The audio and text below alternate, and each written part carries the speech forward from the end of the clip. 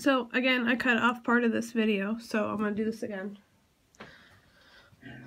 Um, so the conditioning as far as the back, you're gonna go from the hock all the way down, all the front here, the flank, from here, from the top of the elbow, all the way down, all right here in the chest, because you want that nice and full.